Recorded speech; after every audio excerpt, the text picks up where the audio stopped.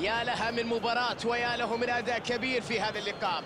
كانوا بحاجة لهذا المستوى من أجل حسم الصعود ومن المهم أن الفريق كان حاضرا في هذه المباراة الحاسمة وتمكن من تحقيق طموحات الجماهير. مع نهاية البث المباشر لهذه المباراة أشكركم على حسن المتابعة. على أمل أن ألتقيكم قريبا في مباريات قادمة.